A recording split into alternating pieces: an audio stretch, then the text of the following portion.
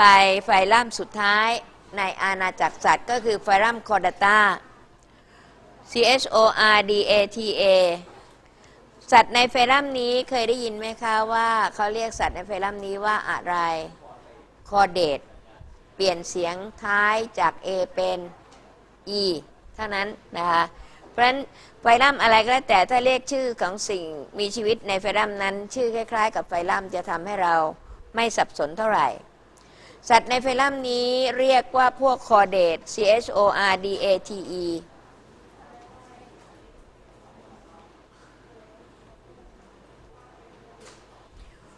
พอจะบอกได้ไหมคะว่าสัตว์ในไฟลัมนี้โดยรวมคร่าวๆ น่าจะเป็นสัตว์ในกลุ่มที่เรายังไม่ได้พูดถึงกันก่อนหน้านี้ และน่าจะเป็นสัตว์ที่เจริญมากที่สุดในบรรดาสัตว์ทั้งหมด นั่นคือเป็นพวกสัตว์ที่มี กระดูกสันหลังแล้ว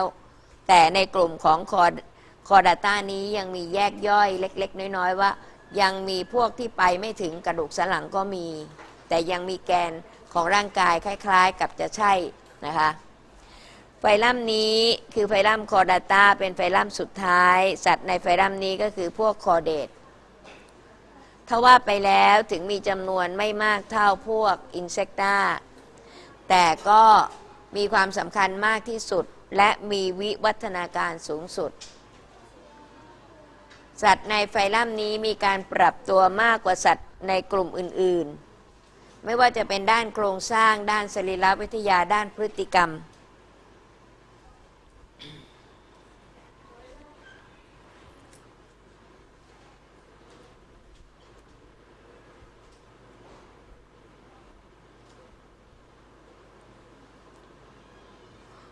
ครูลืมถามไปนิดหนึ่งนะคะเขาตอนที่พูดถึง class Crustacea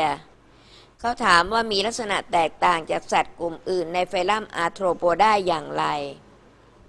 พอจะดึงความแตกต่างออกมาได้ไหมคะว่าในไฟลัมคลาสไอใน class Crustacea พวกไหนคะ พวกกุ้งพวกปูใช่ไหมคะ พวกนี้นั้นมีลักษณะแตกต่างจากสัตว์กลุ่มอื่นในไฟลัม Arthropoda ได้อย่างไร ถ้าไปดูดีๆ แล้วสัตว์ในแต่ละ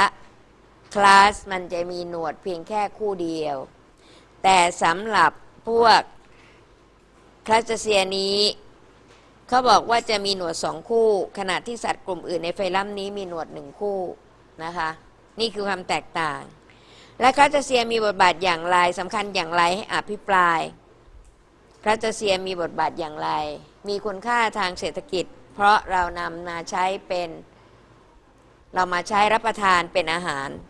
มีคุณค่าทางสิ่งแวดล้อม เพราะเป็นส่วนหนึ่งของสายใยอาหารนะคะ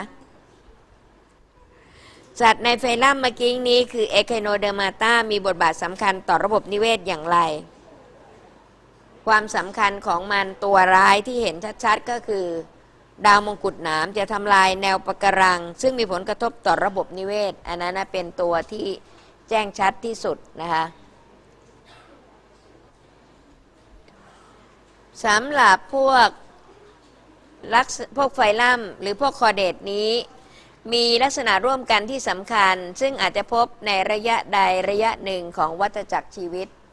หมายถึงว่านี่เป็นลักษณะรวม แต่ว่าไม่ใช่ว่าในสิ่งมีชีวิตแต่ละชนิดในกลุ่มนี้มีครบถ้วนทั้งหมดไม่ใช่นะคะเขาบอกว่าในบรรดาโครงสร้างที่เขาจะพูดถึง มีอยู่ 4 อย่างคือ notochord ท่อประสาท ช่องเหงือก และก็หาง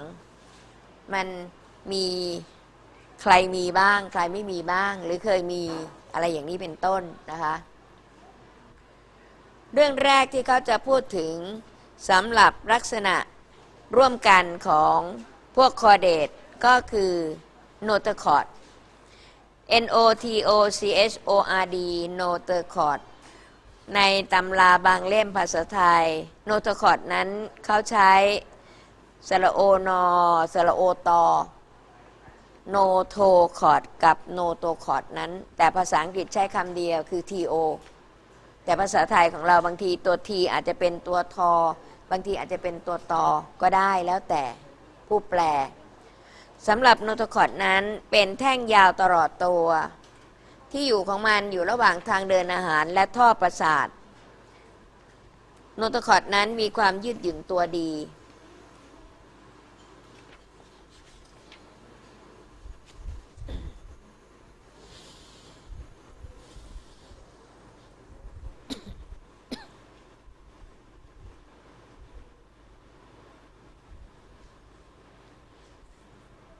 โครงสร้างที่เป็นลักษณะร่วมของพวก chordate สิ่งมีชีวิตในกลุ่ม chordate นั้น จะมี notochord ทั้งสิ้น แต่จะมีในช่วงระยะใดของชีวิตนั้น คือส่วนใหญ่ตั้งแต่เป็น embryo chordate ทุกชนิด ในระยะ embryo จะมี notochord ทั้งหมด แต่ notochord นี้อาจจะมีอยู่ตลอดชีวิตของสิ่งมีบางชนิด แต่ส่วนใหญ่ก็จะมีในช่วงที่เป็นเอมบริโอเท่านั้นนะคะ พอเป็นตัวเต็มวัยจะเปลี่ยนเป็นไขเป็นสันหลังแทน เรียนสังเกตดูนะคะ อันนี้เป็นลักษณะที่เห็นว่านี่คือโนตคอดที่พูดถึงนะคะเป็นแท่งๆที่เป็นแกนลำตัว บางคนก็เรียกกระดูกอ่อน มันก็ไม่เชิงเป็นกระดูกอ่อนนักนะคะ แล้วส่วนนี้ ก็จะเป็นส่วนของจีนซูริกก็คือช่องเหงือก อันนี้ก็เป็น oral tentacle นะคะ tentacle นั้นพอจะบอกได้ไหมคะมันคืออะไร tentacle นี้เคยเจอมาไหมที่ไหน มี tentacle ไฮดราก็มี tentacle ใช่ไหมคะ แล้วแมลงมี tentacle ไหม แมลงมี antenna ก็คือหนวด tentacle ก็คือหนวดของพวกสิ่งมีชั้นต่ำนะคะ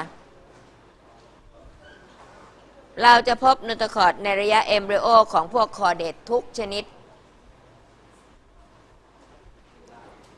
และในสัตว์บางชนิด เช่นพวกปลาปากกลม และตัว amphioxus นะคะ amphioxus นั้น A M P H I O X U S ขณะที่เป็นตัวเต็มวัยยังคงมี notochord เป็นแกนค้ำจุนหรือพยุงร่างกายอยู่ เพราะฉะนั้นถ้าถามว่า notochord นั้น ในพวก chordate จะมี notochord อยู่ในตอนช่วงชีวิตไหน ปรากฏว่าในช่วงระยะ embryo พวก chordate จะมี notochord ทุกชนิดนะคะ แต่พอเป็นตัวเต็มวัยจะเหลือเพียงแค่บางชนิด อย่างเช่น ปลาปากกลม amphioxus ยังคงมี notochord เป็นตัวเป็นแกนพยุงลำตัวอยู่ เป็นโครงร่างอยู่นะคะ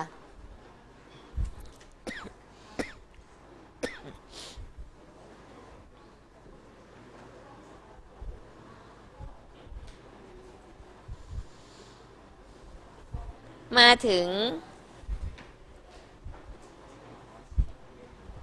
โครงสร้างหรือลักษณะอันที่สองในพวก chordate พวกอันแรกก็คือ notochord จะพบในระยะ embryo ของ chordate ทุกชนิด และมี chordate บางชนิดที่มี notochord จนกระทั่งถึงตัวเต็มวัยคือปลาปากกลมกับ amphioxusในโครงสร้างที่สองก็คือดอลเซนโฮเร dorsal horror nerve tube ก็คือท่อประสาทกรวงที่อยู่ด้านหลัง dorsal ก็คือด้านหลัง hollow hollow ก็คือความกรวงเนี่ยนะคะ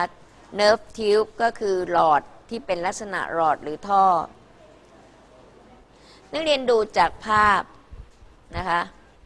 สีเขียวนี่คือโนโตคอร์ดสีมันแทนนะคะ สีฟ้าสีม่วงม่วงฟ้าฟ้าน้ำเงินนี้ ก็คือส่วนที่เรียกว่าท่อประสาทกรวงที่ด้านหลัง dorsal hollow nerve cord ส่วนข้างหน้านั้นจะเป็น brain หรืออะไรคะ brain คืออะไร สมองนะ แล้วสำหรับ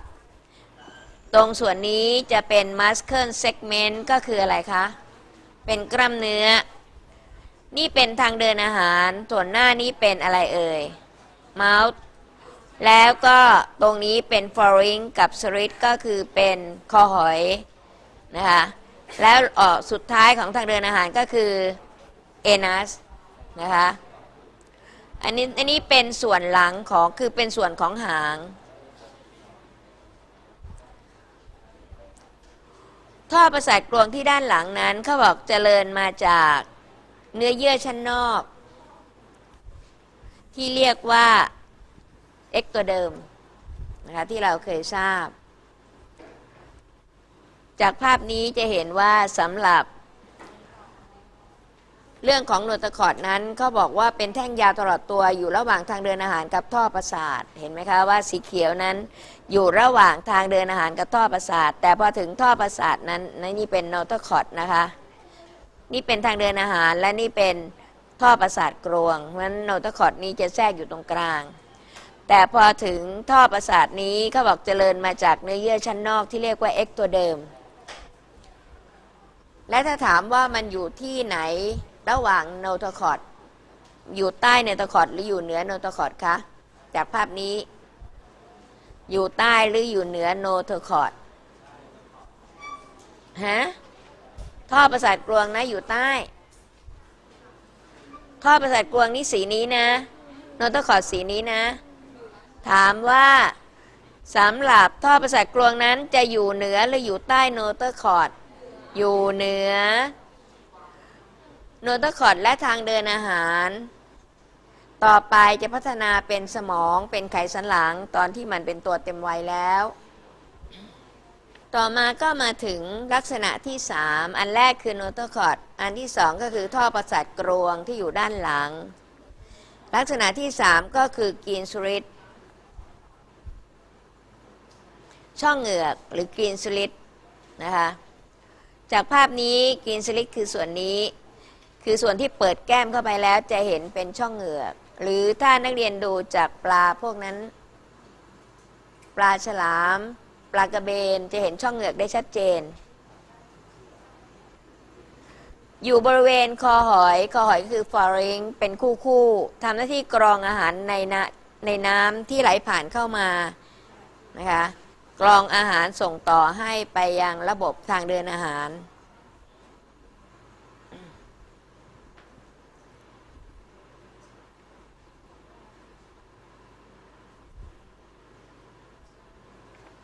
เรามาดูสไลด์สุดท้ายตัวนี้นะคะ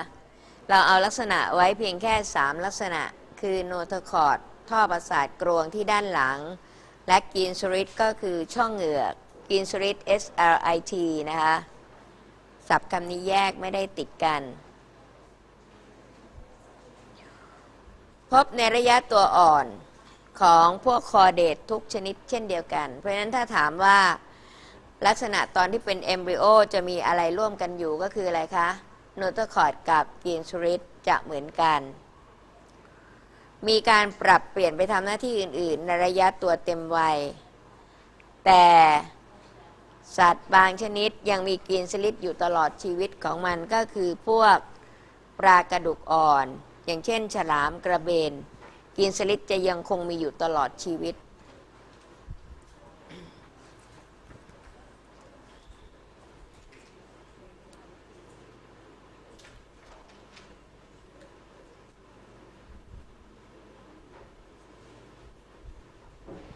เอาล่ะ สำหรับวันนี้เราจะไว้เพียงแค่นี้แล้วส่วนลักษณะที่ 4 คือหางเราจะมาพูดถึงกันในวันศุกร์นะคะ วันนี้แค่นี้ค่ะ ดีค่ะ